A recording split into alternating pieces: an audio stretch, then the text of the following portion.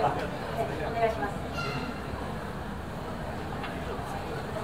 の今、中田さんが訴えられましたけど、私はあの1回目の選挙の時からですね、中田さんたちの話を聞いて、えー、築地使用の移転に反対するというような、えー、政策を掲げて都知事選を戦ってきました。それで、えー、だけど、えー、中田さんも言われた通り、今年の11月7日にも移転すると決まっちゃったんですけど、えー、なぜか運よくね、また都知事選が行われたと、まあ、松尾さんが、えー、ああいう問題を不祥事を起こして、えー、任期途中で辞任されましたんでね、だけど、だだけど、まだ移転してないから、最後の最後までですね諦めない、えー、中田さんたちの運動がですね、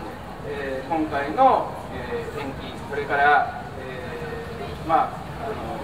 え盛り土問題とか地下空間の問題、そういうことを明らかにしたんじゃないかと思ってまして、えそういう運動をずっと長くやってこられた、え中田さん、築地市業で働く、え労働者の人、それから、え市場関係者、それから、まあ、あの最近よくテレビで出てこられてるですね水野屋さんという女性の建築士の方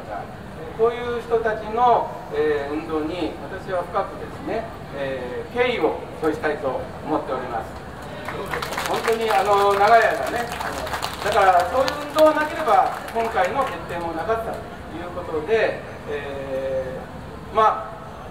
これから4時からあるんですがね、あの4時からのあのパレードにも私も参加してですね、えー、一緒に運動をやってきた人たちと一緒になって、やはりあの築地、えー、現地再整備を、えー、中田さんたちを訴えられてるんですけど、そういう声をですね、えー、都民の皆さんの中に広げていけたらと思っております。えー、本当に、えー、もう最後の最後ギリギリだったんですけど、大きな転換期が来てると思います。